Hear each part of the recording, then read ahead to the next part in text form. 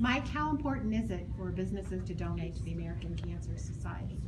Well, it's paramount to our efforts through Relay for Life for that to happen.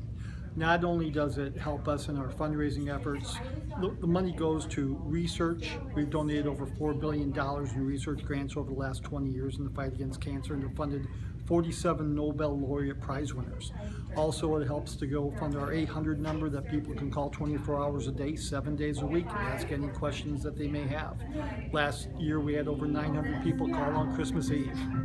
Uh, we also have a program called Road to Recovery, where people can get rides to treatment that need it.